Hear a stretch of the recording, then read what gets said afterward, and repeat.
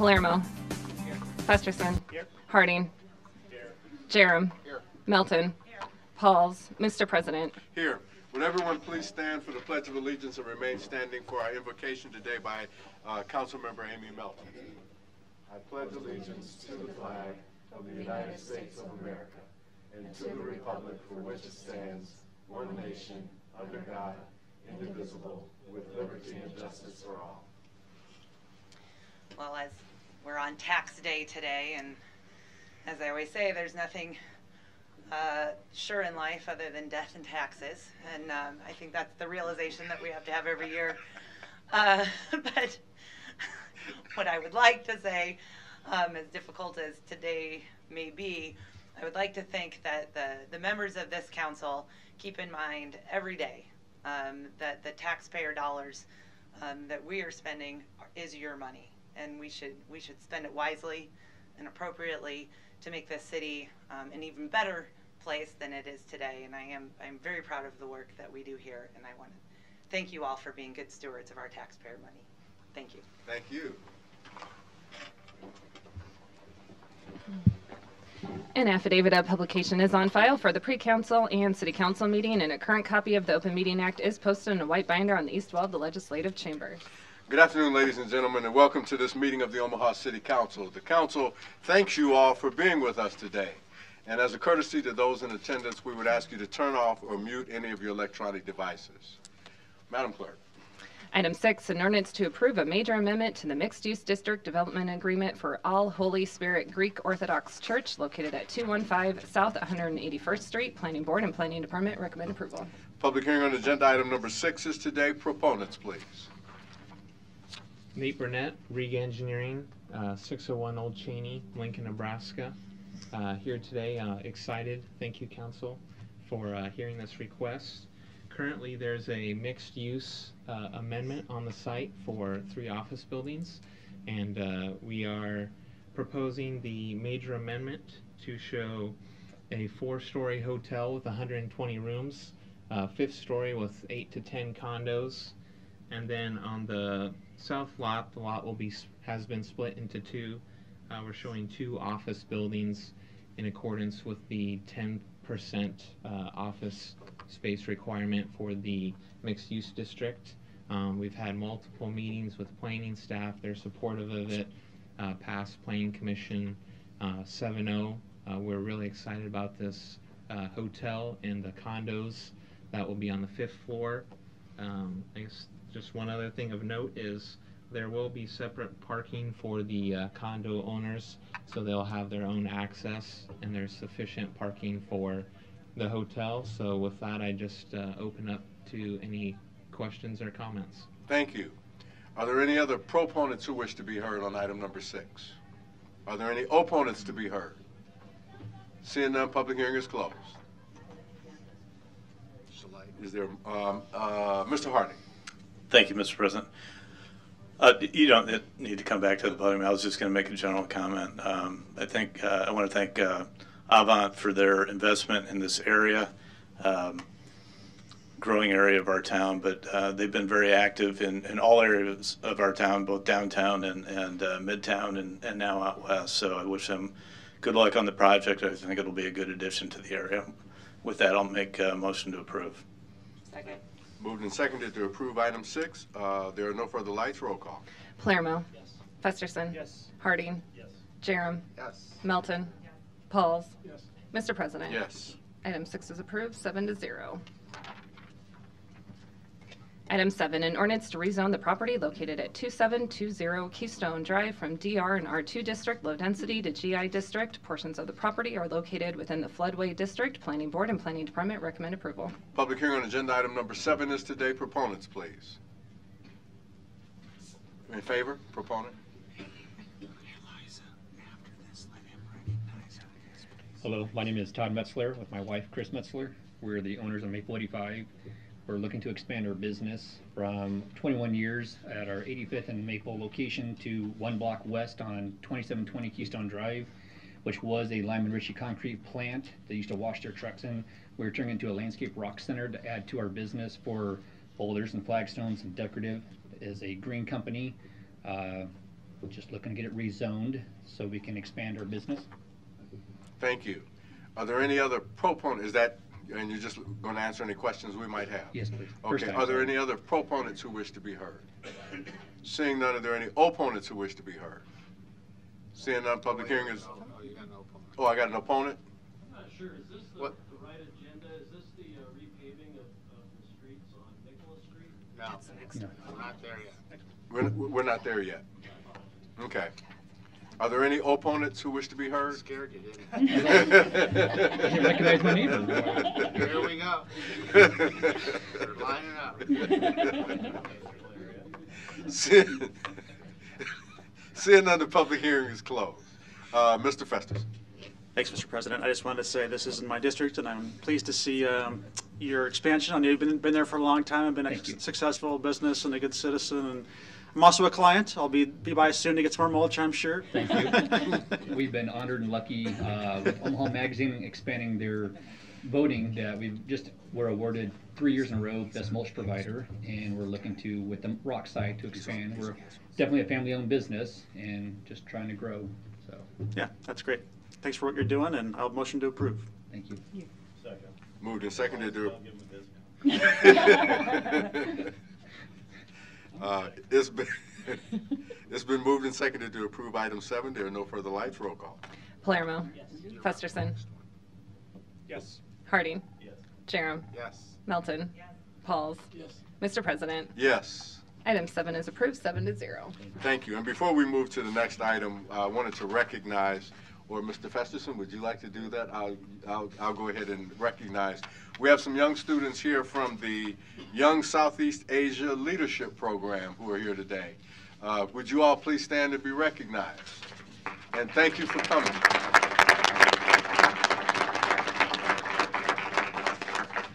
We always appreciate you all coming in. We appreciate you being involved, and, and we hope you learned some valuable information, and you'll share it when you get back. Thank you all for being here. Madam Clerk.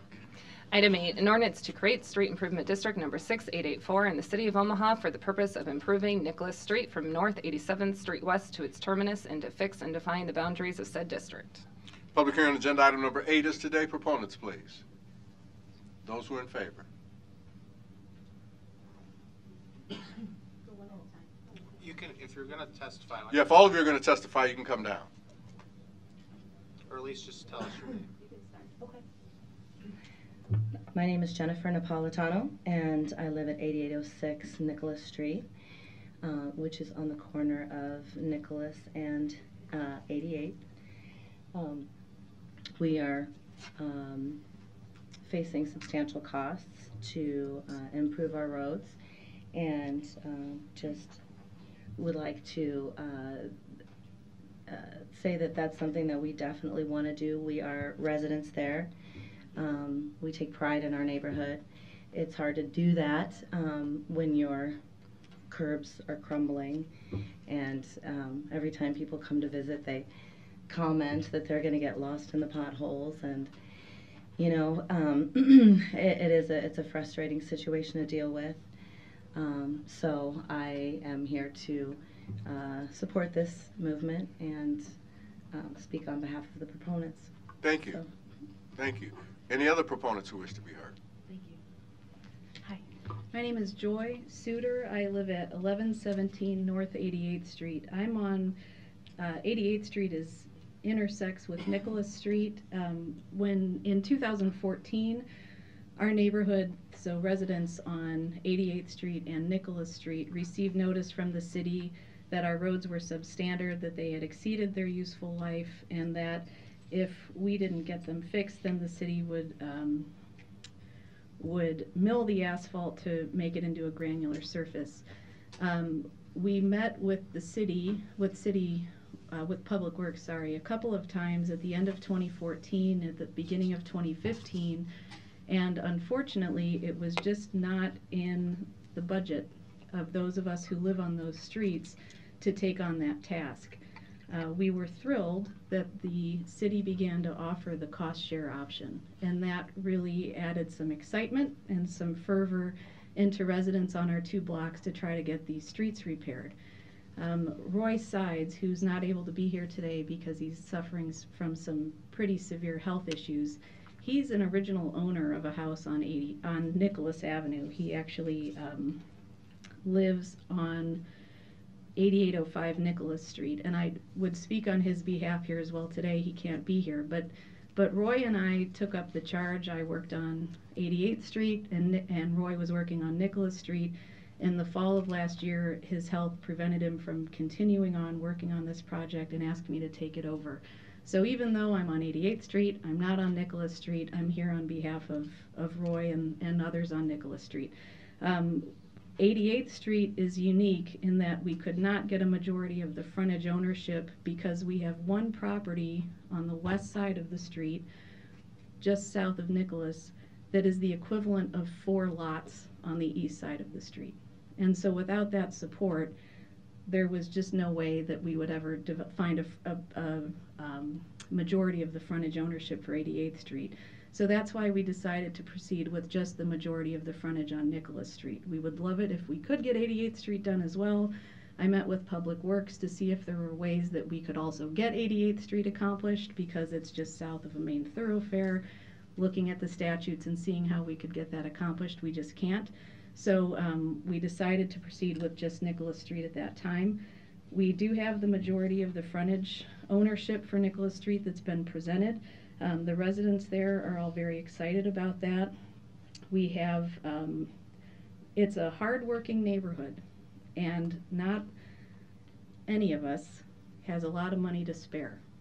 But truly, the opportunity to have the 50% cost sharing is has again sparked excitement that we can finally get our roads fixed. To be picked up by an Uber or to have friends come and pick us up and have to inch along our street is embarrassing. Um, it's something that is uh, that we would just really love to get fixed, and we are grateful for the opportunity that the council will hear this request. Thank you very much. Thank you.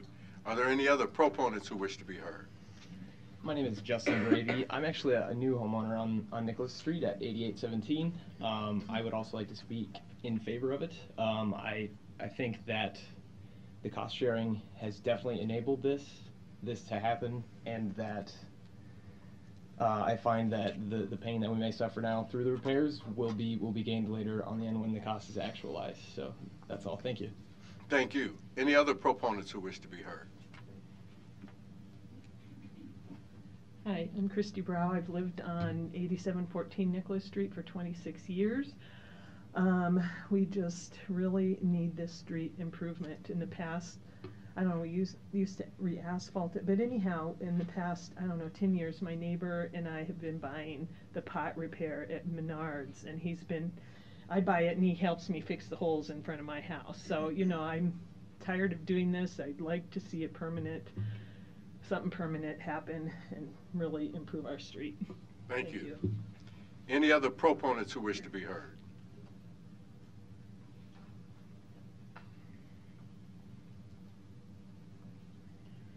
I'm Charles Ferguson. I live at uh, 8721 Nicholas Street. And just like they said, our street is really bad.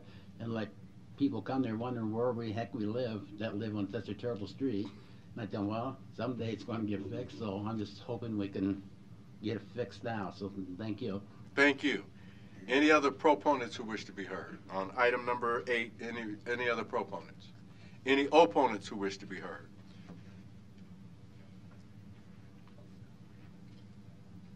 Hi, my name is Richard Reed. I live at 1491 113th Street in Luverne, Minnesota. Um, I'm the owner of 1105 North 88th Street uh, on the corner of 88th and Nicholas. Uh, my son was fortunate enough to be uh, accepted at the Creighton Medical School, and we bought a blighted property that was in complete disrepair uh, on that corner. And we spent a lot of time and money uh, rehabbing that house to where it's a nice small home now. Uh, at the end of his uh, stay at Creighton University, we intend to probably sell this property. And it, it pains me to come up and, and be an opponent of this because as my neighbors eloquently stated, that road is bad, all capital letters. It needs to be fixed. When I bought this property, at no time did I see anything that said that this road would not be taken care of by the city. I've been fortunate enough to live all over the country, and I've never been in a situation where the city did not take care of the street.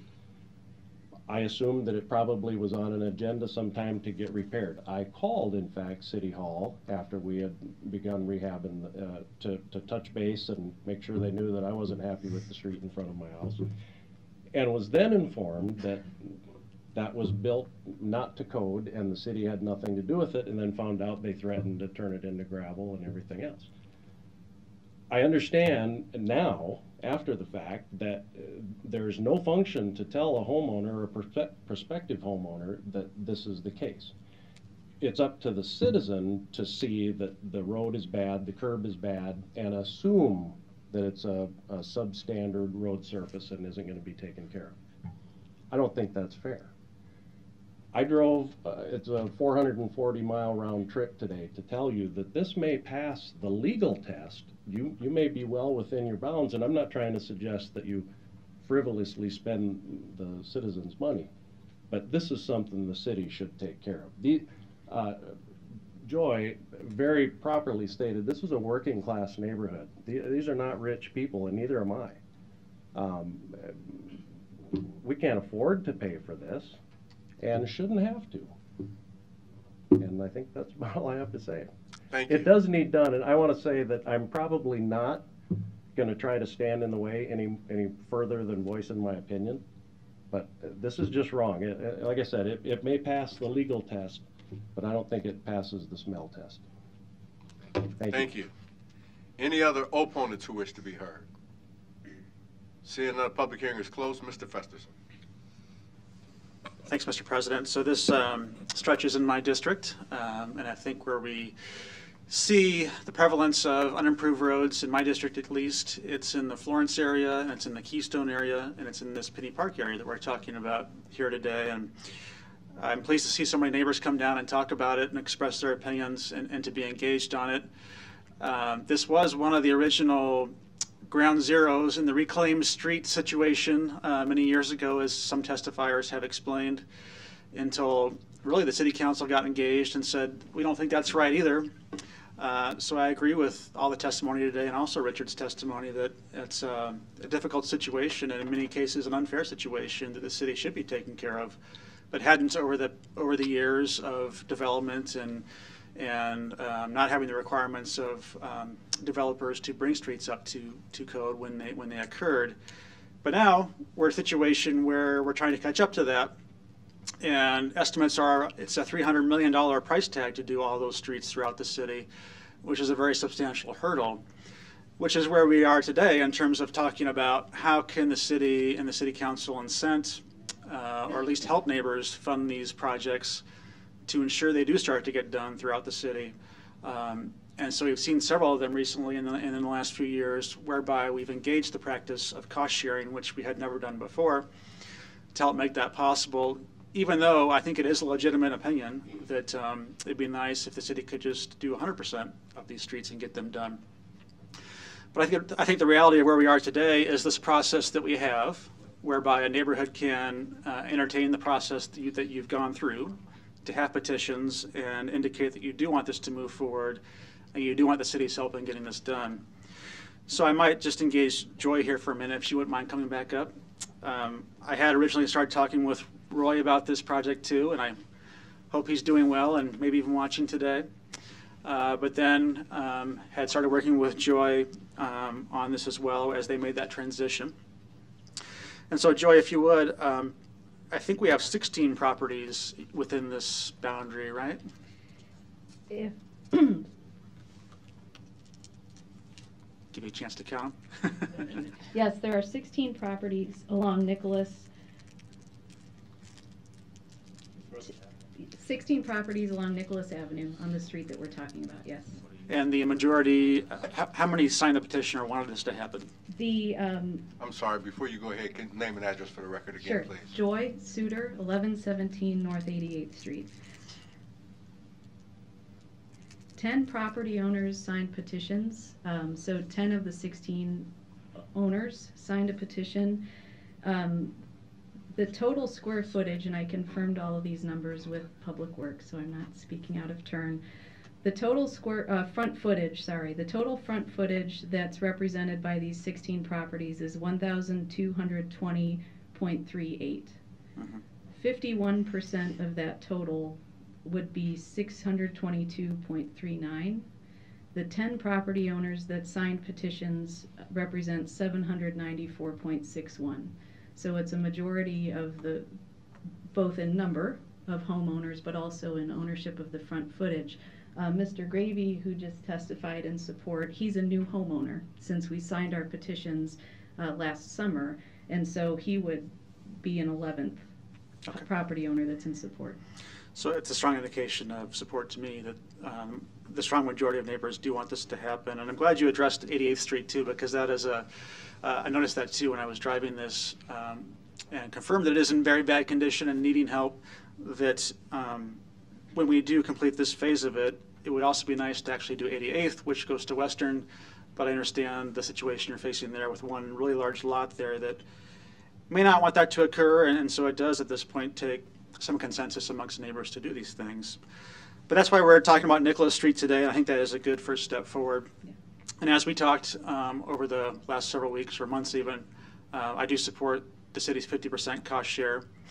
And presuming this gets approved today and created today as a district, next week we'll have a resolution on our agenda that will formally approve the city's 50% cost share into that, which um, I have requested and will support, and I hope my colleagues do too. We appreciate that, thank you. You bet. With that, I would uh, motion approval. We have no, uh, moved and seconded to approve uh, item number, eh, uh, yeah, um, I'm sorry. Ms. Melton? Thanks, Councilman Chair. Hey, uh, Ms. Suter. First of all, this is just an, another example of something that you do for the community because it just seems like every time I run into you, you are doing something else as a volunteer that's making our community better. So I just want to thank you for continuing to keep on with this, even though you can't get your own street done Right. for your neighbor. Um, Thank you. and and then I just wanted to say we we had had some some kind of issues before where the neighbors on the street um, had agreed to it, but were agreeing to something different than what they thought because you know their their neighborhood leader maybe wasn't clear or for whatever reason it was. So I just want to be clear that all the residents know you were talking about frontage. So is everybody going to uh, have they agreed to split the cost by frontage or by not by property, equalizing each owner? The, what has been communicated to the property owners is that their responsibility, their portion of the fifty percent would be based on their front footage ownership. Okay. So not the number of properties, but by the square, foot. I keep saying square footage, but by the front footage of the property. Frontage, okay. Correct. And then that, and that's what's been presented to everybody, and I think we'll, we'll be moving forward. And that's, that's where we want, we don't want to be having these arguments at the Board of Equalization when somebody says, well, I'm paying more than my neighbor. And we said, well, in the beginning, that this is, this is how the neighbors agreed to do it. Right, and I, and I would, um, just to buttress that, I'll, I'll let you know that the corner lots understand that because of the, the, how their lots are bigger, that they would be, um, assessed a, a larger amount. And that is of concern for some of our larger, um, wider property owners. The, um, for example, Miss Napolitano, who just testified, she's on a corner lot, um, of 88th Street and Nicholas, and she signed two petitions. One representing her interest and support in having 88th Street completed, and one for Nicholas Street. So I believe I can assure you that it's been communicated that each side of a house um, would be, would require separate approval in order to show that we understand that that square footage would have an, or the front, the frontage would have an right. impact on the cost associated by property. Okay, and I, I fully support this, and and I would agree, and I and I understand that Councilman uh, Festersen has a number of these roads. Um, the city council wishes that there was more we could do, but I think prior, you know, to a couple years ago, people were having to pay. I think when you started it, it was a hundred percent. Right. Um, so at least now we are cost sharing in this, um, and, and I know that'll be on the agenda next week. So I, I'm glad that we're able to at least assist in this effort and we're able to work together. And again, thank you for all your work and all the neighbors that came down here with you. I want to thank all of you for getting together and um, helping make your neighborhood better, which again leads to a better city. So thank you very much. Thank you, Ms. Milton. Thank you. Uh, Mr. Palermo. Thank you, Councilmember Melton, for clearing up half of the questions I had of previous discussions. Um, I, I didn't catch, ma'am, how long have you lived in this area I or have along that stretch? 13 years. 13 since years. 2005. So, you, just so I can uh, wrap my head around this, so 2014, this process started. Yes. So, let's say from 2014 back, what was the conditions of the roads then, and how did you deal with them? My understanding from Mr. Sides, from Roy Sides, who's not able to be here, uh, um, Roy is an original homeowner on Nicholas Street. And Roy actually used to work for the city. And so Roy has had a lot of keen insight based on his um, history in, in public works. But my understanding is what the what the two streets used to do would every five years or so, um, uh, Roy would get a bid for to chip seal, I believe is the terminology, to chip seal the asphalt, and um, that would be shared amongst the homeowners. And we moved into the house in 2005, and I believe the first time Roy tried to do this uh, was in 2007, since we had lived there. And it was clear that the street was deteriorating. Similar to Mr. Reed, I was horrified at the prospect that I had to pay to fix my road. And as a new homeowner, I thought, well, what in the world does this mean? It's a road, it'll be fine. Subsequently, I've learned that asphalt is not as sturdy as concrete and cement, and that it is necessary to do the chip seal. We've had some turnover in home ownership on 88th Street. So as we've had new homeowners join the block, trying to explain to them about the chip seal, they had the same reaction that I did, and they weren't interested. And so um, I think, and, and really, Charlie Ferguson could tell you the timeline more, Mr. Ferguson who testified, because he also is a longtime homeowner on Nicholas Street, um, as is, is Ms. Brow. But they, I think every five years or so, Roy would head up this committee to get, for the homeowners to pay for the road to get the chip seal done so that the asphalt would last longer. That has not happened in the 13 years that I've lived in my house. And um, in 2014, when the city presented that they would turn it to gravel, we knew that that was not a good idea because we also are at the top of a hill. And so the idea of gravel being washed away down into the sewer drains didn't seem like a good idea. We also thought that the asphalt that we did have would be better than gravel, um, easier to plow, easier to have our kids ride bikes on the street. Um, so that's the history as I know it in the 13 years that I've lived there. Okay, thank you. That's a great timeline. Thank you. Uh, Mr. Festersen. Thanks. And since we're kind of talking about um, street maintenance, uh, the other thing I wanted to point out in, in this conversation that is significant about what you're doing here today is that you won't have to chip seal anymore. Right. Um, should this be approved and cost shared and constructed, uh, because it is a street improvement district, which means cement, uh, this will then in perpetuity become the city's responsibility to maintain uh, going forward. So that's a huge benefit of what you're undertaking here today, too. Right. Great. Thank Thank you. you. Thank you. There are no more lights. It's been moved and seconded to approve item eight. Roll call. Palermo. Festersen. Yes. Harding. Jerram. Yes. Melton. Pahls. Mr. President. Yes. Item eight is approved, seven to zero.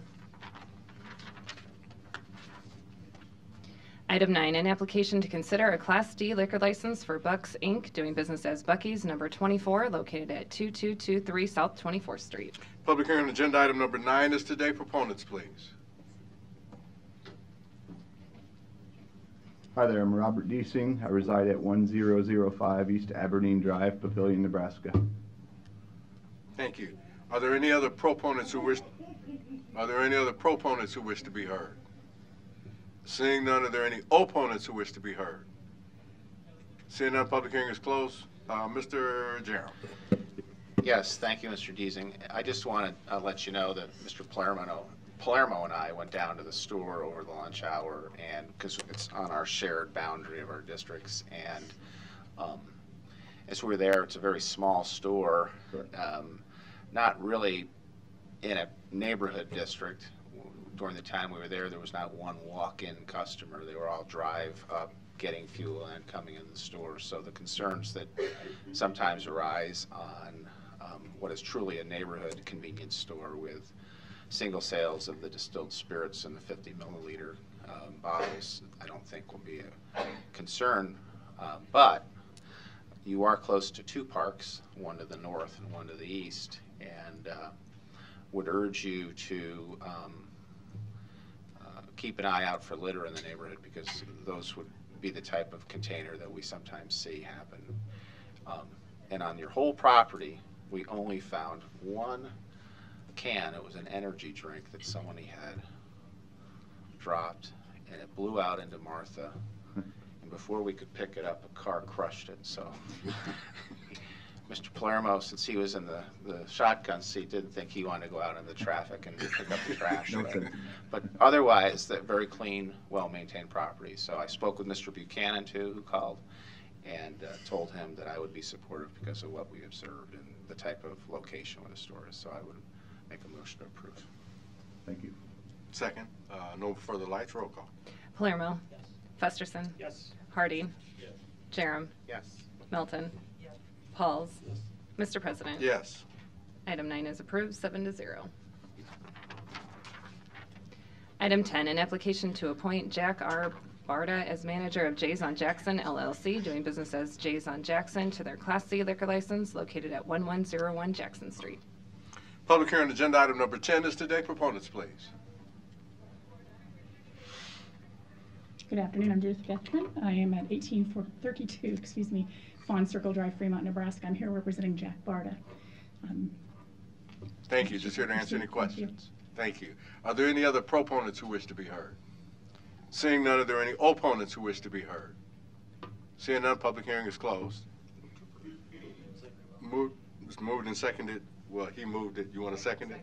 Moved, moved and seconded to approve item 10. There are no further lights. Roll call. Palermo. Festersen. Yes. Harding. Jerram. Yes. Melton. Pahls. Mr. President. Yes. Item 10 is approved, seven to zero. Thank you. Item 11, an application to appoint Brian T. Wall as manager of Old Market Seafood LLC, doing business as Plank Seafood Provisions to their Class I liquor license located at 1205 Howard Street. Public hearing agenda item number 11 is today. Proponents, please. Um, I'm Brian Thomas Wall. Um, I'm the general manager at Plank Seafood. I'm just uh, requesting that I am added to the Class I liquor license at the location, please. Sure. Address, please. Um, my address is, uh, my home address is um, 11405 South 43rd Street, Bellevue, Nebraska. Thank you. Are there any other proponents who wish to be heard? Seeing none, are there any opponents who wish to be heard? Seeing none, public hearing is closed. Second, roll call. Palermo. Fester- Festersen. Yes. Harding. Jerram. Yes. Melton. Pahls.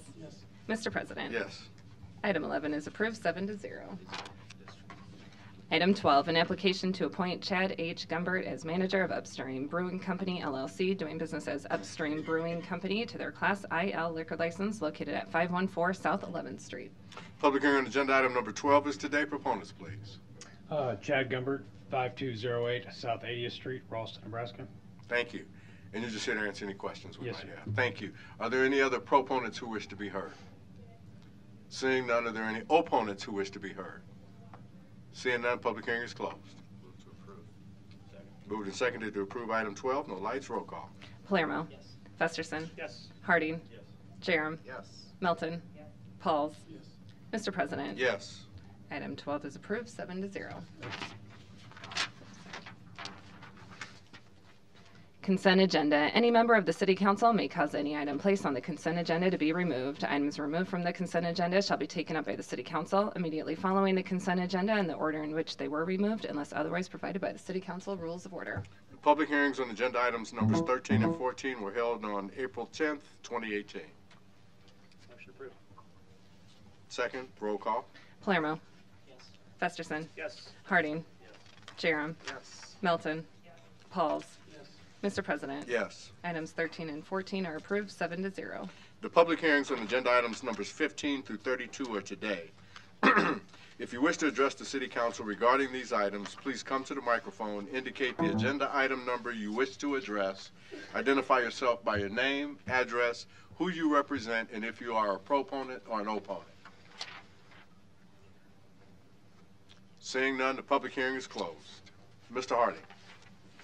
Thank you, Mr. President. I just wanted to make a couple quick comments on two items. Number 19, um, and along with that 22, which are resolutions um, related to the widening of 168th, basically between um, Pacific Street and Q Street. And I'm glad to see that project moving forward. It looks like we're going to start in 2020. And then the last item is number 30, which is uh, the reappointment of Carl Anderson to the um, Elkhorn, Old Elkhorn, Old Town Elkhorn Business Improvement District. Thank you. Thank you. Um, The public hearing is closed. Um, Is there a motion? Second. Moved and seconded to approve um, items 15 through 32. Roll call. Palermo. Festersen. Yes. Harding. Yes. Jerram. Yes. Melton. Pahls. Mr. President. Yes. Items 15 through 32 are approved, seven to zero. Item 33, a resolution to approve the landmark building tax increment financing redevelopment project plan for a redevelopment site located northeast of 13th and Harney Streets in the amount of $9,824,122. Public hearing agenda item number 33 is today. Proponents, please.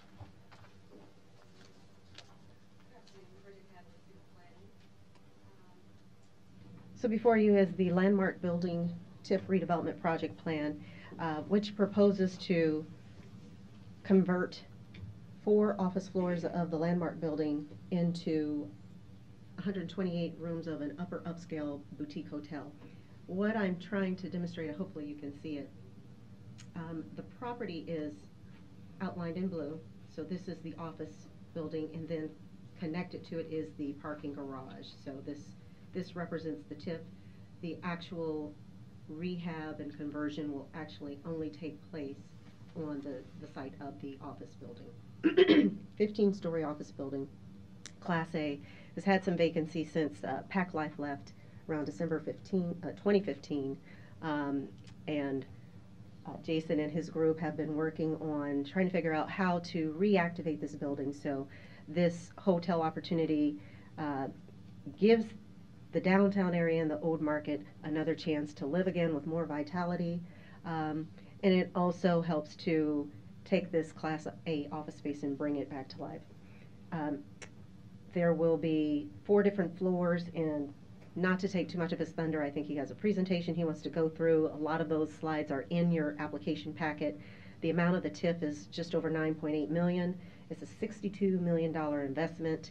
Um, they had about uh, 42 million in TIF eligible costs, but really wanted to focus on the TIF eligible expenses that, re- that pertain to the actual conversion and rehab within the office space. Um, there will be an addition of a uh, restaurant that will be added to the second floor there on the south side, and then there's um, some addition to the north side of the building that they're they're doing to the building. So lots of rehab and some additions to the actual footprint of the building. Some really exciting things that will help activate again that space and will be a plus to the downtown area. Uh, has approved been approved by the TIF committee. It does meet the community development law and our TIF guidelines. Um, and with that, I will step aside. I'll ask for your approval and then step aside and let the developer speak more. Thank you. There any other proponents who wish to be heard? Good afternoon. Jason Fisher, 17534 Baywood Circle, Omaha, Nebraska, the developer here. Uh, in the interest of time, I'll, I'll breeze through this. I get excited about the project and, and talking about it. So, um, are you, am I, am I cueing this? Okay. Oh, perfect. Okay. There we go. For um, clarification, the uh, office towers, the 15-story um, building on the right. CenturyLink owns the data center, the five-story data center on the left still. And I would add they've been a real uh, proponent and um, help on this uh, project, real very supportive. So uh, delivered in 1991, still um, has a relevant aesthetic. Um, we're uh, proud of that. All glass curtain, curtain wall facade. As Bridget mentioned, the challenge, there's a couple challenges that, that I'll talk about today that, that we are addressing. Uh, one of which is a vacancy issue. Uh, it's been 50%, right around 50% vacant since December of 2015. And um, with, with the available space on, in the old market currently, um, and additions of, you know, some, some additional office square footage available, we felt like um, uh, leasing up the building um, as pr primarily office was going to be a challenge. In addition, it's got, it's underparked for, uh, for an office user. So, and, and subsequently, we're sitting here with a declining tax value and, and um, market value as well. So we evaluated many, um, many uh, changes in use. We settled on, and it's not settling, we, we actually ended up on an upper upscale hotel conversion for six floors. Four of those would be rooms, as Bridget mentioned, and then there's two uh, hotel amenity uh, lobby and amenity spaces. So, um, and this, this felt uh, really good, uh, especially in visiting with the Omaha Convention Visitors Bureau and understanding that, that, um, that experts believe we're still underserved in the upper upscale hotel arena. So um, we've been diligently working on that. The end result for the, for the property is that it will be almost fully occupied and fully activated, uh, which is great. So we think the uh, occupancy rate will be in the 90 to 93 percent by the time we open the hotel. Apologize for the size of this. The important thing that I wanted to mention for this group, in case you missed it in the TIF application, to the right is Gene Leahy Mall, if you will. The hotel lobby and entrance is actually going to be on the north side. We feel like that's really, really important to activate Farnam Street. And um, as Bridget also mentioned, there will be um, an addition in, in, in the form of an entrance and some sort of portico, so it'll have a really nice arrival presence. And um, our front yard will be uh, Gene Leahy Mall. On the south side, which I'll talk about in a second, we're, we, the plan is we are going to build a two-story addition. And um, that's important for many, many reasons, but the, our signature restaurant will be out there sort of engaging the old market, uh, which is a major entertainment, food and beverage destination, as you all know. That's the first floor, Edo traditional uh, upper upscale lobby that hopefully will be um, a place that's very active for breakfast, a place to work during the day and um, have lunch and then even dinner. Um, there's some mood images that give you a sense for the quality of design um, that we're after. On the second floor, amenity spaces continue for the hotel. On the north side or the right side will be a 200, a roughly 200 person meeting space. And then individual medium-sized boardroom spaces and corporate training facilities, as well as a fitness facility that will service the hotel and the office occupants. And then that addition on the left side, which is the south side, um, the plan is uh, for a rooftop bar uh, that will have um, light, you know, small plate um, food options as well. Mood images for the signature restaurant, for the hotel amenity spaces, and for the rooftop bar to give you a sense of the design. We learned that the building is is very well um, structured and designed for hotel rooms. It has zero columns from the from the core of the building to the um, curtain wall to the exterior, and the mullion spacing in the in the in the uh, windows is is perfect for for kind of traditional sizing of hotel rooms. So we think this is going to be really special, um, unobstructed views in all directions and floor-to-ceiling glass uh, in the rooms. And because of the size of the building, these the rooms will be, you know, 20 to 30 percent larger than than um, than most king-size standard hotel rooms. So we're excited about that. Here's some precedent images for the hotel room design, uh, hotel rooms, and a summary of the hotel. So upper upscale hotel. In addition, the, the remaining floors, that's six, six floors, nine stories, will, will maintain office. We are enhancing the office component of this property too. And Bridget, we didn't, we didn't talk about this or include it in TIF eligible expenses, but we are gonna spend a little money on the parking garage and uh, try to, try to give that a better aesthetic and, and tie that into the old market a little bit better. One of the challenges that was created, it's a wonderful development, but one of the challenges that was created is, that, you know, it's, it's, it's built over two square blocks in downtown and really served as a little bit of a barrier for north-south connectivity for, for the old market. So a stated objective of our team is to help and enhance those connections again. Um, and I'll point out on the right-hand side, there's a there's a 6,000 square foot retail parcel that we own that isn't part of this application, uh, but I do want the council to know that we have plans on that, and I'll, I'll show a picture of that because that's a that's a pretty um, inactive corner that we'd like to solve. This is 13th and Harney. This is the southwest corner of the building, and the building sits back. And although that's a wonderful thing because you can create the opportunity for a courtyard, the reality is in the old market because the rest of the properties um, sit out to the property line, it creates sort of an inactive corner. So our uh, team felt it was important to add that addition to bring that to bring some action to the to the property line on the Harney Street side. This is that retail bay on 11th Street. So this is the southwest corner of 11th and Farnam. And just just for point of reference, it's it's a part of our overall goal and objective to really help 11th Street be a north-south connector. And then I'll touch on the pro the project that we're talking about, uh, the Landmark Center. This is the addition. This is the rendering of the two-story addition. It's actually vaulted two stories, so it'll it'll effectively look like three stories um, with the signature restaurant on the main level and a rooftop bar um, slash food and beverage component on, on the second. And this is the courtyard right next to that. There's actually public access north-south through the through what we call the link, the lobby of the office building. And I just reference it because we've spent a lot of time um, programming those plaza areas, um, working with um, Bridget and city planning to make sure that we enhance the public um, the public interface with this project, and hope that's that's really where we we think we can enhance that north-south connectivity. A couple uh, there's public improvements that that are go along with this with 13th Street, uh, down Farnam, et cetera, and and we really want to take some uh, pride in the in the plaza spaces and um, what we're calling an activated old market plaza.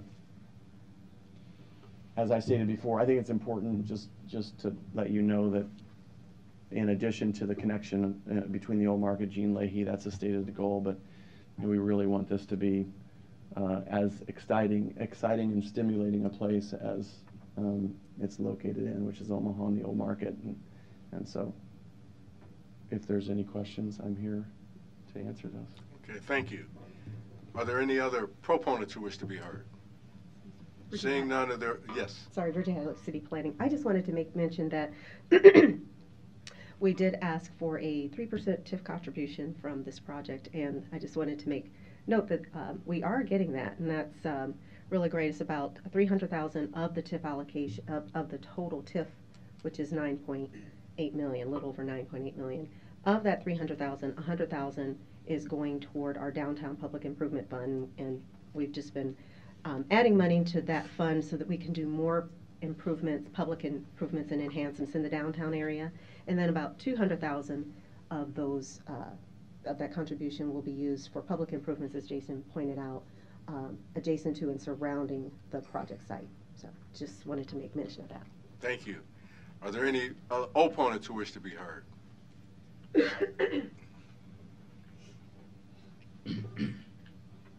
Luis Jimenez, 518 North 40th Street. Uh, I've been listening, been looking at this uh, for the last couple weeks, and I really don't see why the city needs to forego nine million eight hundred twenty-four thousand dollars on this, uh, especially on something as to do with hotel rooms. I've heard this uh, city council speak on the fact that the city's struggling to fill hotel rooms um, and, other venues, and uh, you know, but he, uh, I heard the developers say that uh, they're going to have a 90% uh, fill. They're going to fill their rooms. Well, I, I think that uh, this, is, this is such a great thing. Uh, they should pay the nine million eight hundred and twenty-four thousand in taxes. Thank you, sir. Thank you. Are there any other opponents who wish to be heard? Seeing none, the public hearing is closed. Mr. Festersen.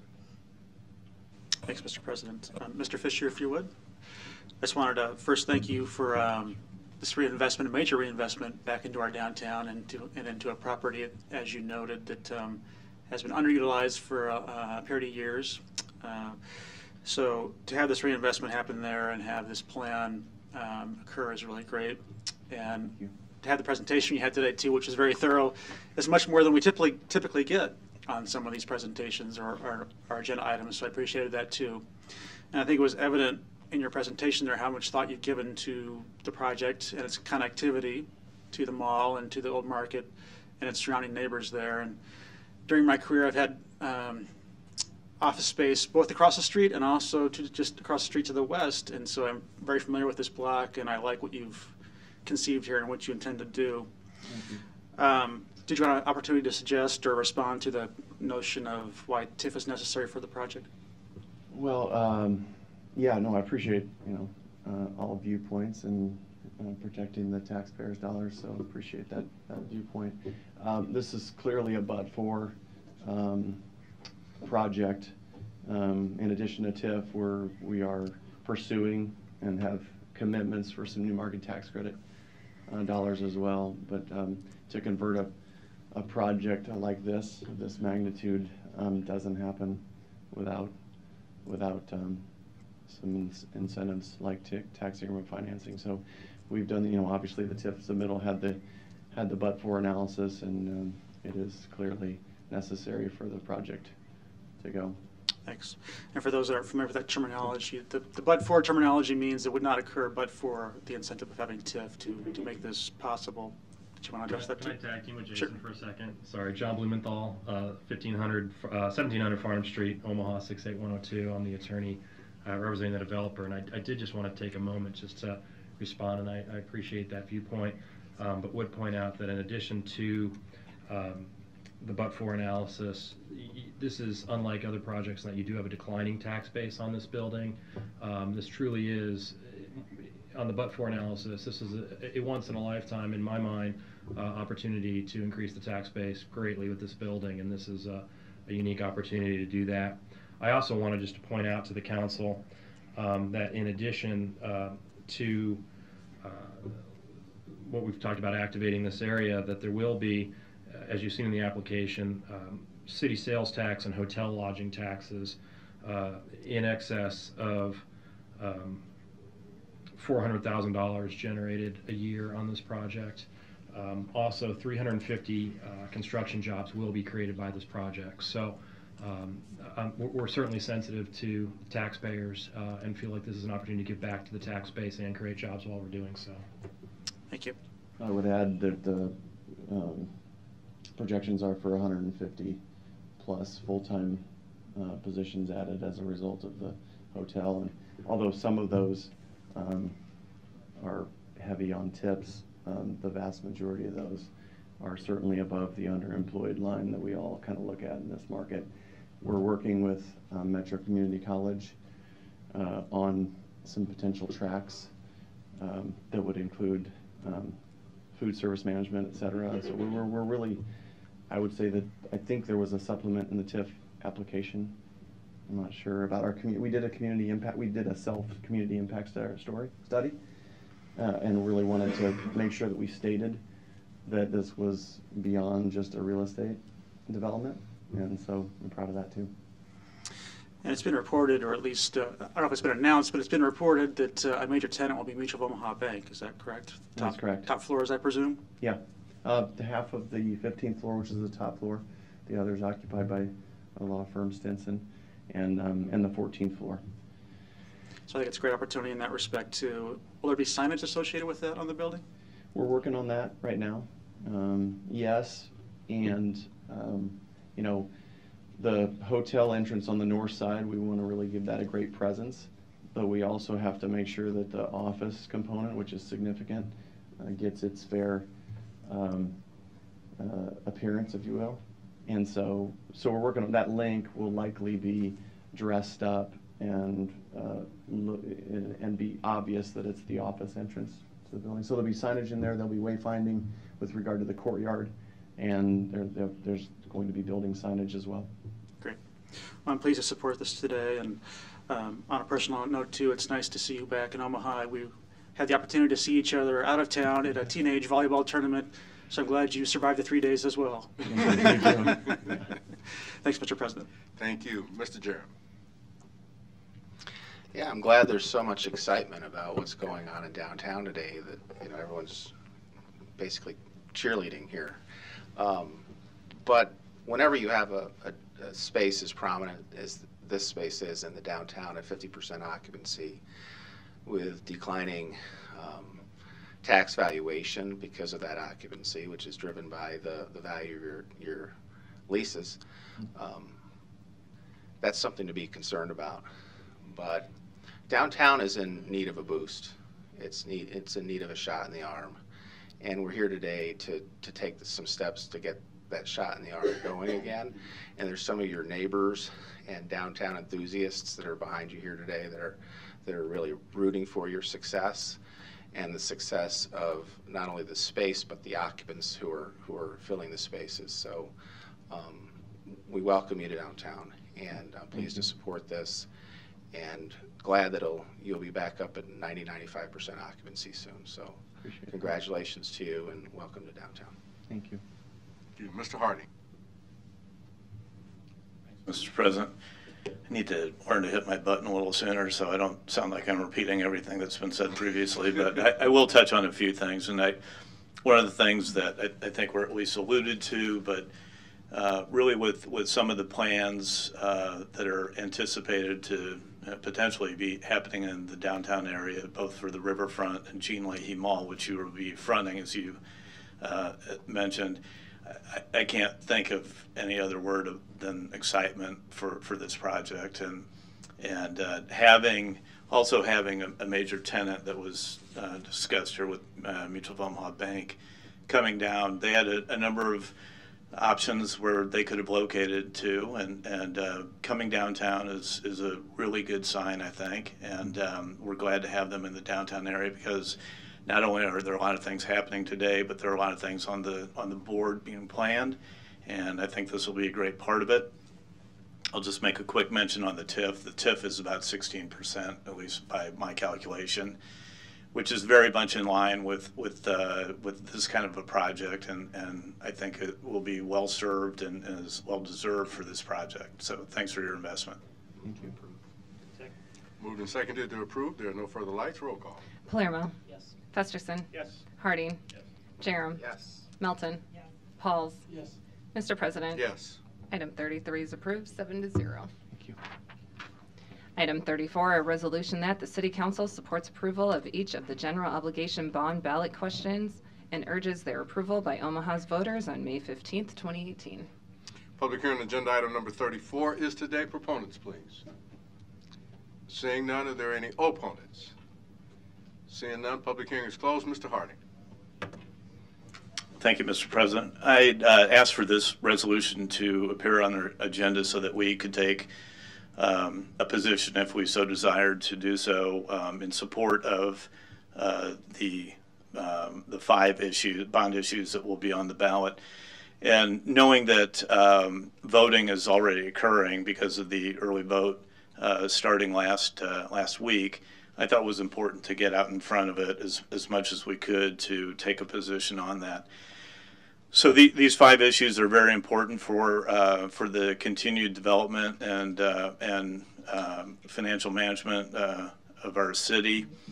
Uh, it won't uh, it will not create a tax increase um, by the passage of these, which I think is important to note because there will be at least for some citizens in some areas they will have uh, an additional bond item related to a school that will cause a, a tax increase. So I wanted to make sure that uh, we understood what the differences were, that it was not going to be a tax increase to the citizens of Omaha. Uh, I I know there are a number of uh, organizations that have also publicly stated their position, including the Chamber of Commerce, Nebraska Taxpayers for Freedom, and, and many others in, in support of this. So um, I was um, uh, glad to, to move this, uh, this action forward, and, and I'll make a motion to approve. Second. It's been moved and seconded to approve. Uh, Ms. Melton? Thank you. And, and thank you, uh, Councilman Harding, for putting this on our, uh, on our agenda today so that um, our voice could be heard um, as a resolution.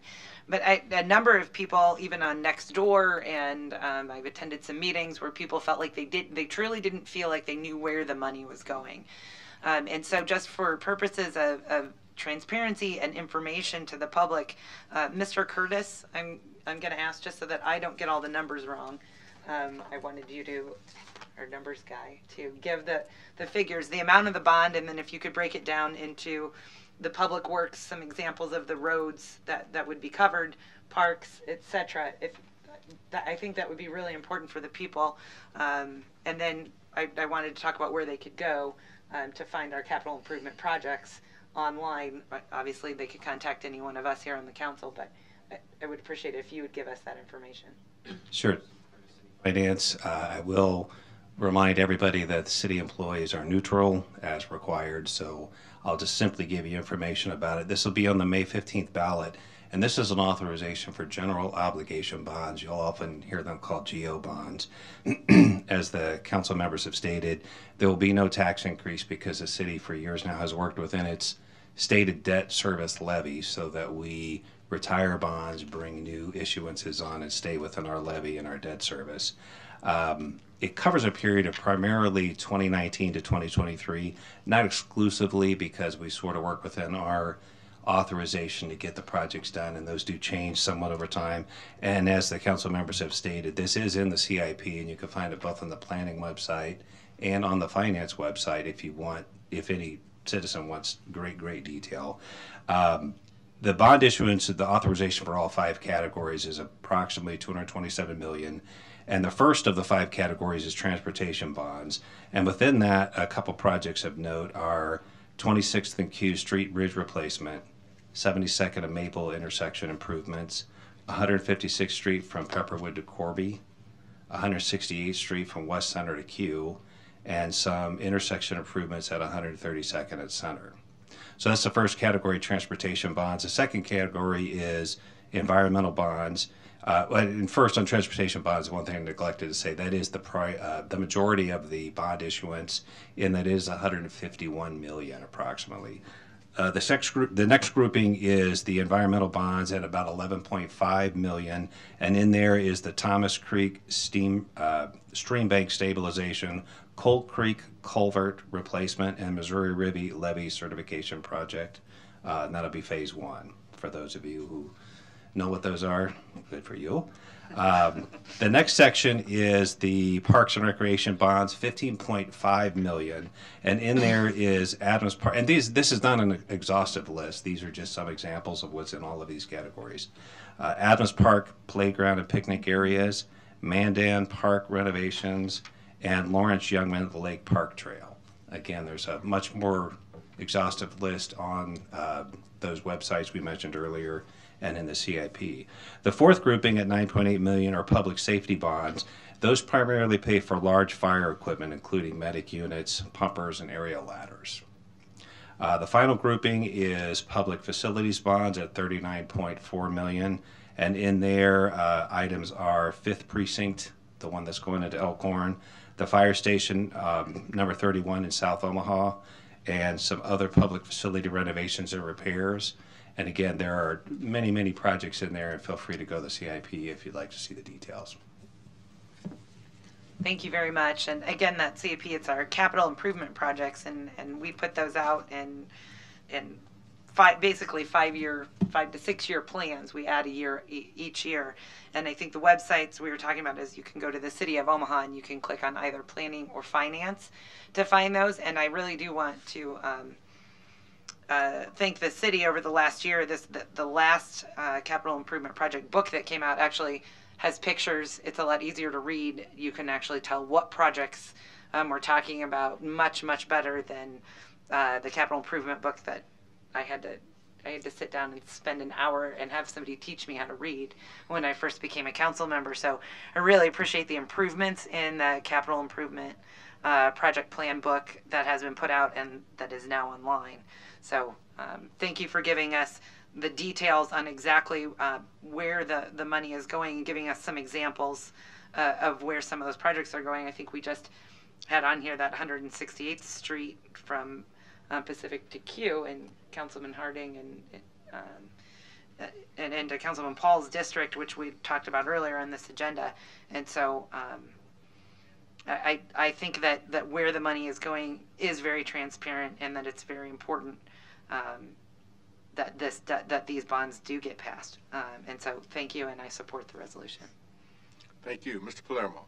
Thank you, President Gray, uh, Vinnie Palermo, 4520 South. I, I guess you don't need that. I was just gonna say I, I am a proponent. When you called, I would have went over there and said that. But uh, so thank you to Councilman Harding for bringing this forward. I am definitely in support of each of these GO bonds. Thank you very much. Thank you. Uh, Mr. Pahls. Thank you, Mr. Gray.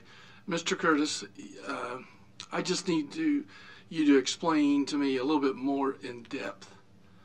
Okay, you say there's a police station, fire station, we're going to be doing roads. Is that not true? Uh, Steve Curtis, uh, City Finance. I maybe didn't quite catch your whole question. Well, uh, you you indicated that there are certain projects that are going to be hopefully to, to be accomplished, like uh, a new police station, fire station, uh, roads, streets. That's correct. Okay. Uh, see, I think we need to go a step further. Who, where does most of that money stay? I mean, okay, the fire station, or the uh, police station, or the roads. I mean, does that money leave the city of Omaha? Uh, I guess technically no. It stays here in the community. See, so I think sometimes we are under the assumption that we're collecting all these taxes and they're going someplace. Well, most of these taxes are reinvested into the city. Uh, a number of our, um, I just encourage people once you see some of these uh, things that we're passing, see who are the benefit beneficiaries of this. A lot of these are local businesses. And uh, so I think sometimes we need to take it a step further. It is not only that we're getting these things, but it's actually being plowed back into the community. There are jobs that people who live here. And uh, uh, it's not uh, money that's actually, for the most part, leaving the city of Omaha. Thank you. Thank you. Uh, Mr. Festersen. Thanks, Mr. President. I just wanted to add to, for perspective, uh, and because I want people to know, that um, we've talked a lot about roads and our roads needs um, today and in previous weeks, and I'm sure that'll continue because those needs are tremendous.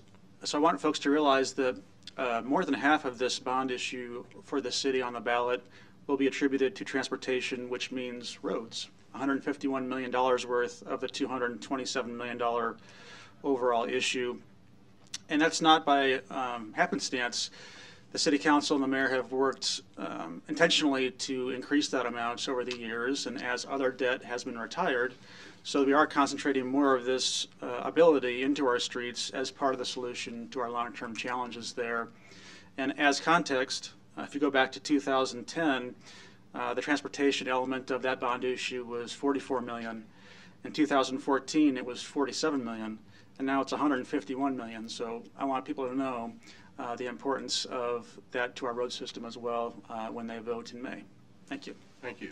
It's been moved and seconded to approve item 34. There are no more lights. Roll call. Palermo. Yes. Festersen. Yes. Harding. Yes. Jerram. Yes. Melton. Yes. Pahls. Yes. Mr. President. Yes. Item 34 is approved, seven to zero.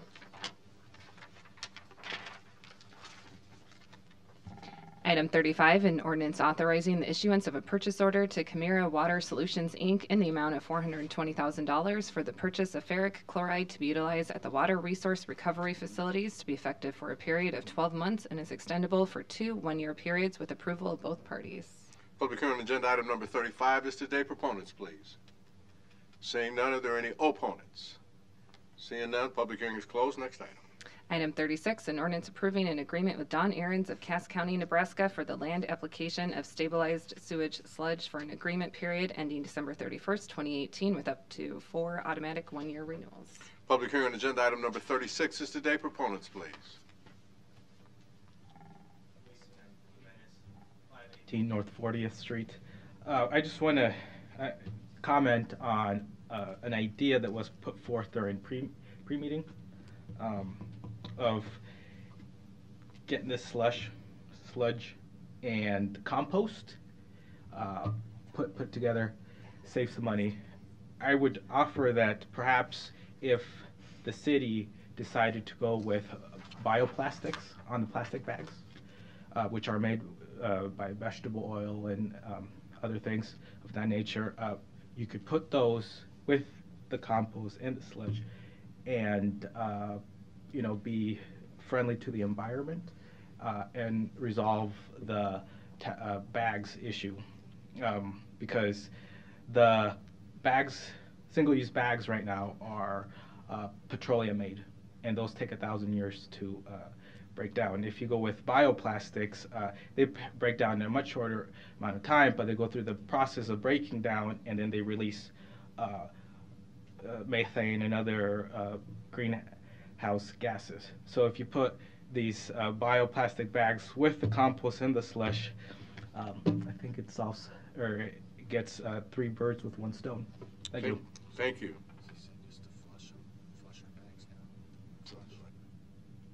Thank you. Uh, Any other proponents or opponents that wish to be heard? Seeing none, public hearing is closed. Next item. Item 37, an ordina- ordinance of vacating a portion of Lewis Drive commencing approximately 78 feet east of the east right-of-way line of 95th Street to the dead end of the Lewis Drive right-of-way and abutting Lot 7, Block 7 of Manor Meadows, and Lot 2, Block 0 of Brighton Gardens subdivisions. Planning Board and Planning Department recommend approval. Public hearing agenda item number 37 is today. Proponents, please. Seeing none, are there any opponents? Seeing none, public hearing is closed. Next item. Item 38, an ordinance levying a special tax and assessment on certain lots, parts of lots, and pieces of real estate in the city of Omaha to cover the cost of constructing sidewalks in district number SWR 2017-01. A is communication and opposition. Public hearing agenda item number 38 is today. Proponents, please.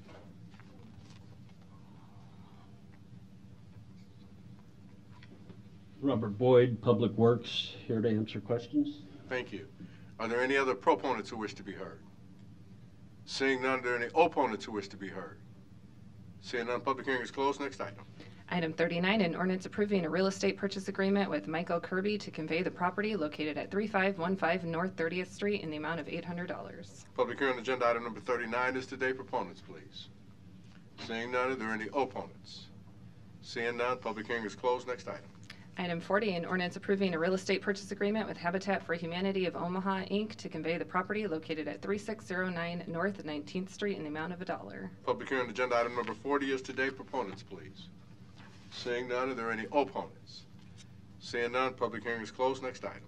Item 41, an ordinance levying a special assessment for fees and civil penalties on certain lots in the city of Omaha, group number 2018-01. A is communication and opposition. Public hearing agenda item number 41 is today. Proponents, please.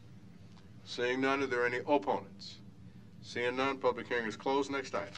Item 42, an ordinance to approve an amendment to the Downtown Business Improvement District Number 6874 to increase the special assessment cap for the district by allowing a 10% increase from .439 per thousand dollars of assessed value to .484 per thousand dollars for the 2018-2019 work year with an increase of 3% per year thereafter.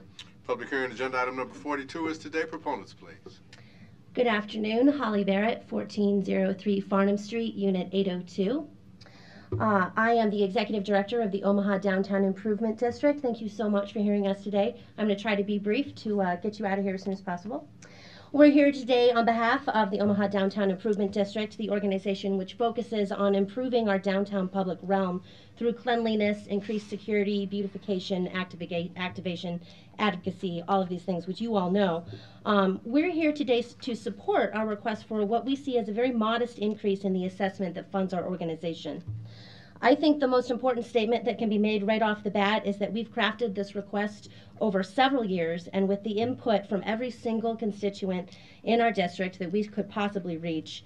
Uh, and our request is such that if you approve it, it will allow our organization to expand in a very small but extremely impactful way.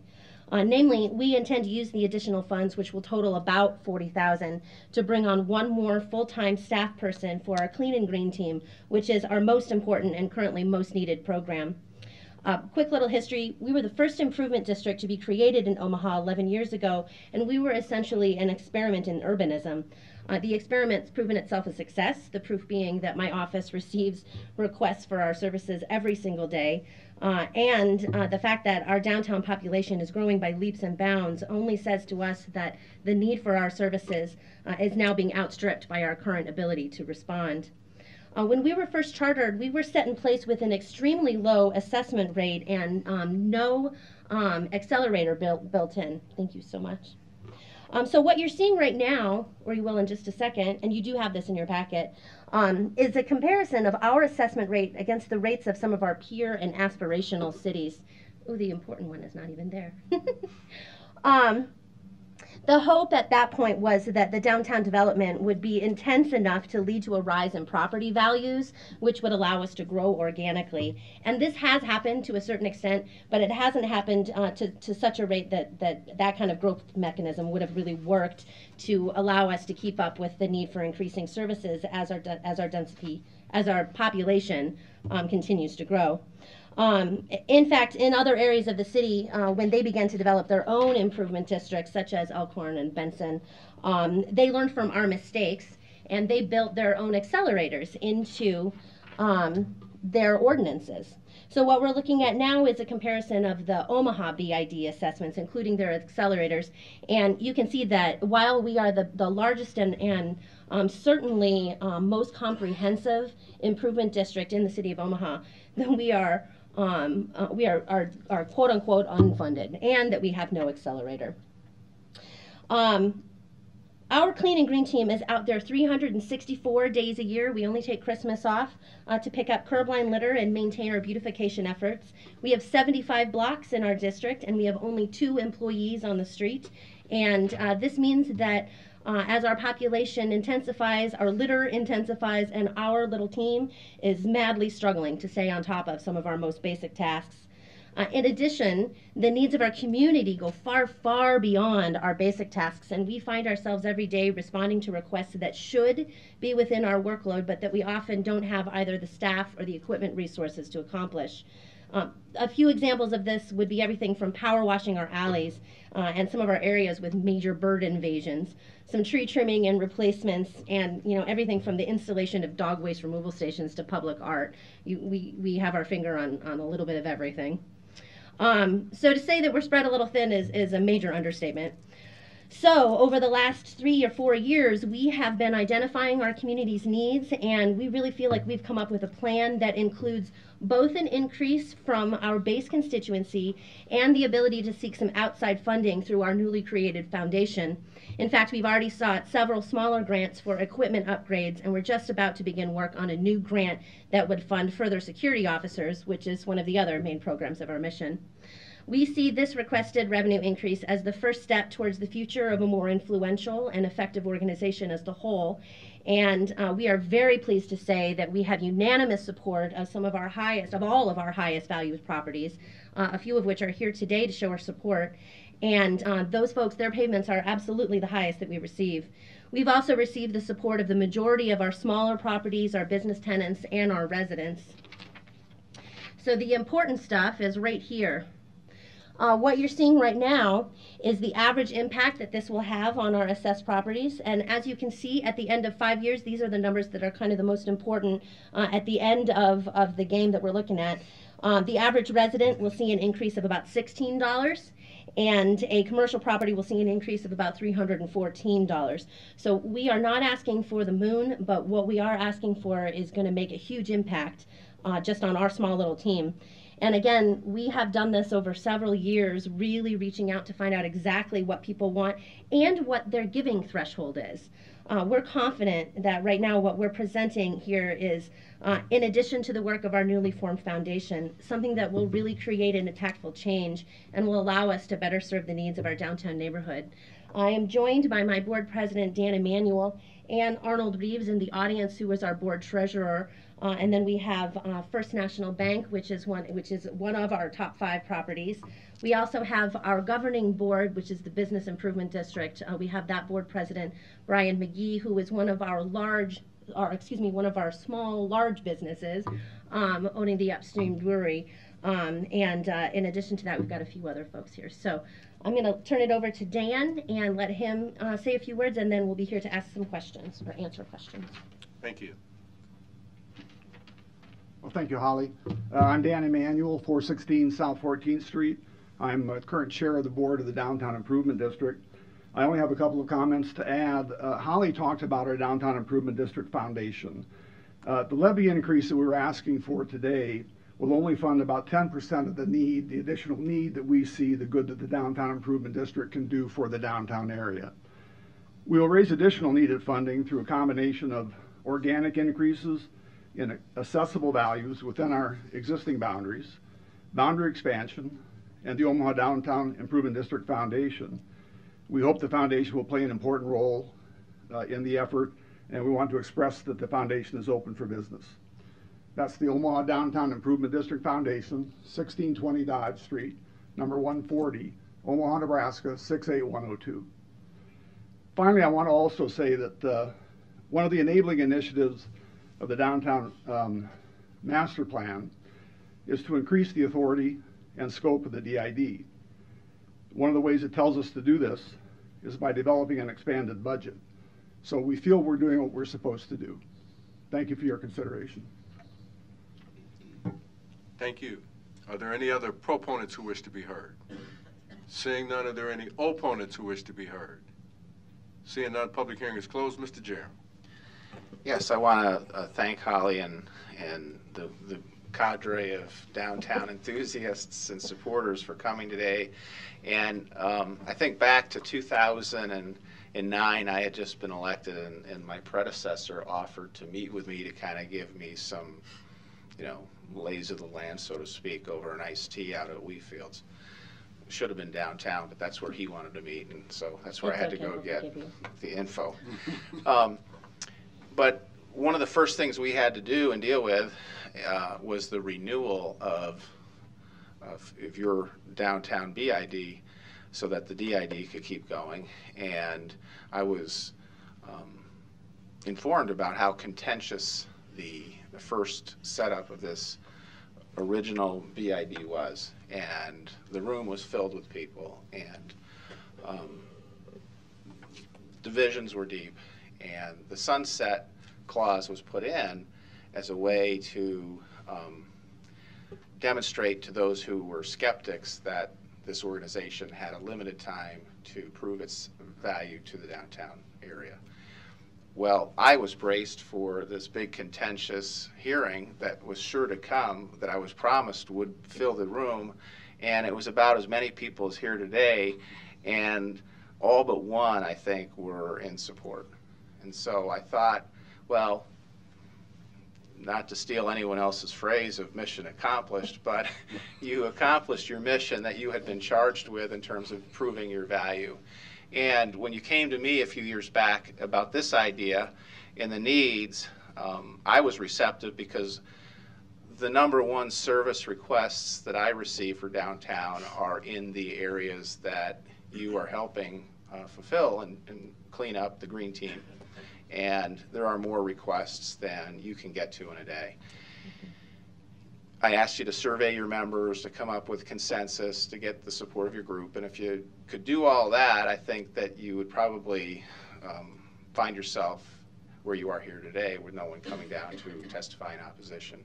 And I have not had one person contact me in opposition to this. So you've learned from what you should have had in the first with an annual increase built in. Every other business improvement district has adopted that model. No one anywhere that I'm aware of, particularly the ones that are in my district, has complained about those built-in features for a modest increase annually. Um, your other means of trying to get more money in terms of your foundation and the valuation increases is is a good idea, and I'm glad to see that you incorporated it. Um, and finally, I would say that you were very, very modest in terms of the ask of a budgetary increase of 40,000 since you first began. I mean, all, over a decade ago. So um, put all that together, and I think that explains why there's nobody here shouting and screaming um, in opposition or leading any charge against you. So um, congratulations to you on the hard work. I hope when this comes back that my colleagues will support it. And um, if anyone has any questions about what's going on downtown, there's a lot of good people in here that, that have all the, the inside information. So, and if you have any need to see the proof of what the need for the work is, there's a folder that Mr. Emanuel is holding on to that has some photos in it that Pretty scary. pretty pretty tough stuff to show what the need is, um, but no need to put out there and, and give people a, a, a less than favorable impression of downtown, which is what we're trying to put Thank some mojo back in downtown, and and you guys are doing a lot of hard work to do that. So thank you. Thank you. I, I would like to follow up on one comment that Councilman Jerram just made. Um, we, uh, we reached out individually to our top five uh, largest properties, which are by ordinance uh, given a seat on our board, and we give them a little bit of a special treatment simply because they're paying the most. So um, we reached out to them individually to make sure that they were going to be okay with this 10% increase, and all five of them um, said, "Why aren't you asking for 20%?" And we said, wow. We chose the 10% because we thought it was going to be something that, that would be very palatable um, to, to those of us like me who are a resident down here. And um, a $16 increase is a $16 increase. So, um, so thank you very much for your kind compliments. We hope that we have accomplished the tasks that have been put before us before. And we really hope that with this expansion that we're going to be able to take on a hell of a lot more um, as, as requested. Thank you. Mr. Festersen. Thanks, Mr. President. I just would want- commend you as well. I was, I remember those days of contention, contention well as also having been a uh, planning board member at the time, and I came to the planning board, of course, before I went to the city council, and uh, I was supportive of it then and still supportive of it now. And having gone through this a couple times myself now in Dundee and Benson, it is very difficult to get the consensus that you've achieved, but it's best done by showing the results that you've achieved, and uh, that gets people on board pretty quickly. But it does take over communication and a lot of effort to get where you are today to have um, a lot of consensus behind your approach here in an expansion. So I wanted to commend you on that too and look forward to supporting this next week as well. Thanks. Thank you. Mr. Harding. Just real quickly, I, I had one person at, uh, in my other job um, who I work with actually lives in, in the downtown area, and and he got the notice. He just asked me to look into it. I think when I called Bernard Indenbosch from the law department, he said it was the first and only question that of I think I'm going to get the number wrong of 1,500 notices that were sent out somewhere in that neighborhood only one. So I, I commend you on, on how well you got your uh, constituency to, to go along with this. Thank you very much. It was not easy. Actually, that's not true. It was very easy. Truly. And I think that's the proof of, of that we're doing it. Just a few years. Just a few years. Thank you very much for coming down. Thank you, Mr. Appreciate it. Uh, next item. Item 43, an ordinance to approve the Omaha Downtown Improvement District Association 2018-2019 Budget and Work Plan and the 2017 Omaha Downtown Improvement District Stakeholder Survey results and levying a special tax and assessment on all lots and pieces of real estate within Business Improvement District Number 6874 in the city of Omaha in the amount of $465,830.74. Public hearing agenda item number 43 is today. Proponents, please. I'm not going to go into too much depth here because I think you are already well aware of what we are doing. Um, I want to make sure that you know that the budget that we um, submitted includes that, that 10% increase. Um, I'm going to, just for the sake of time, show you our overall budget. This is a simplified budget, and we do have a more broken down one if you um, so desire. Um, but you'll see that even with this increase, we are still below 450,000, and that all of the additional income is going to go into that management line, which is where we put all of our staff, even when our staff is um, 100% program driven. So we do have two staff members myself and my communications director, and our time is spread over a couple of different programs, but we continue to list it all in management because that is the um, the easiest way that our auditors uh, can get that information out to everyone. But all of the um, proposed forty thousand that will come in will go will go straight into one full time green, cle- uh, clean and green team person. Um, so with that, I would hope that you would approve this year's budget and work plan. And if you have any further questions on the work plan, which is in your packet, I'm happy to answer them. Thank you. Are there any other proponents who wish to be heard? Seeing none, are there any opponents who wish to be heard? Seeing none, public hearing is closed. Next item. Item 44, an ordinance to amend Omaha Municipal Code, Chapter 10, Article 5, Division 5, entitled Small and Emerging Small Business Program to modify the program's definitions and certification criteria. Public hearing agenda item number 44 is today. Proponents, please. Seeing none, are there any opponents? Seeing none, public hearing is closed. Next item. Non-action items, items 45 through 56, do not require a public hearing or city council consideration at this meeting, but will be placed on a future agenda for public hearing and/or vote. The reason for non-action is noted after the item on the agenda, as well as the date the item is expected to appear on the agenda for consideration. Motion adjourned. Roll call. Palermo. Yes. Festersen. Harding. Jerram. Yes. Melton. Yes. Pahls. Yes. Mr. President. Yes. Motion passed. Meeting is adjourned at 3:32 PM.